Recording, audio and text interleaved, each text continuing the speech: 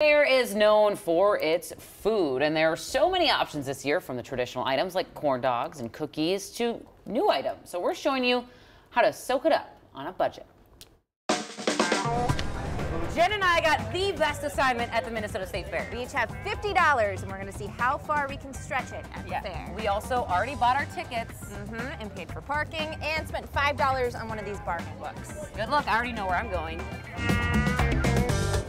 Buy water at the fair. Come to the KARE Barn, you can get it for free. Bring your own bottle or you can get these. We hand them out here at the KARE Barn every morning at 10:30. The dairy bar inside the food building actually has a coupon, page 31, $2 off a shake. Hmm. I do this every year. I have to get my cheese curds from the Mouthtrap. I don't have a coupon, but it's worth it. 8 bucks. Tejas Express has the best spot for Mexican style street corn, and guess what? It's only five bucks. Bon appetit. One of my favorites for just $2 here at Minnesota Apples in the Horticulture Building, a cider freeze. One of the best things you can get at the horticulture building, thank you for this, is the honey ice cream. Five bucks for a scoop.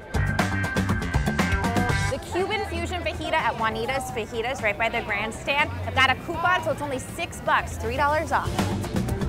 Oh yeah. If you have kids who want to go to the Mighty Midway, this might be the best bargain in the book. You get 28 tickets for 17 bucks. Let's have some fun. At the Donut Family in the Midway, $4.75 for a bag of donuts with a coupon, five bucks for a lemonade because I was thirsty. $15. French Meadow Bakery and Cafe. This was $3 off with the coupon in the book for a total of $6. Lemonade was $7.50, but it's really good. At Mike's Hamburgers, you can get a small fry for just four bucks. Okay. Last purchase of the day at Sweet Martha's, they have a state fair deal. 10 bucks for a cone of cookies and a cup of milk. Too much for me. Gotta share it with a friend. Cheers. Best deal ever. Happy State Fair. That was a great balancing job by Jen. I know. I was helping her eat the cookies as fast as I could. Jen, we were both surprised at how far we could stretch the 50. I thought it would be gone like that. Oh, and we could have done a better job too. If we had more time and we were like more committed to like actually making our you know our way across all the fairgrounds, I think we could have made it go a little bit further. But we did pretty good. Yeah, don't be too hard on yourself. Next I year, you did a twenty-five great job. dollars. You used the We'll see if we book. can do that.